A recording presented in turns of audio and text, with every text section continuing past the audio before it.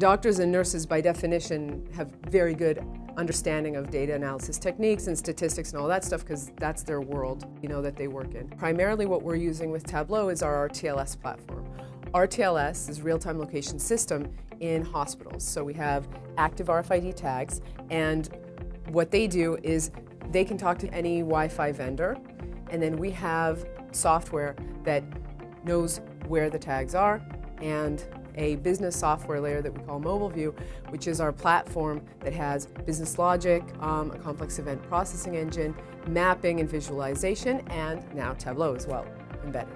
One of the great things about you know being able to to have the RTLS data combined with the visual capabilities of Tableau is that, you know, in clinical settings, data resonates with people. They get it. This is what's actually happening, and let's drill into it and look at it and see where the opportunities are for improvement.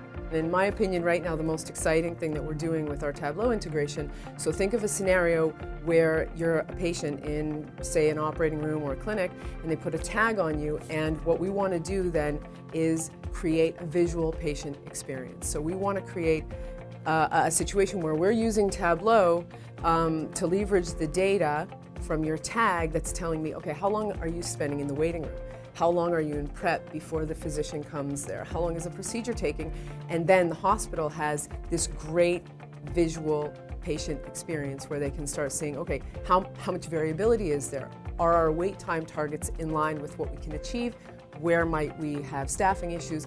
And helping hospitals really create the kind of patient experience that they want to create. Their goal is just, you know, to help patients get the treatment that they need and to help them have a great experience or at least a least unpleasant experience possible as they're going through, you know, this this uh, this treatment, you know, for whatever it is.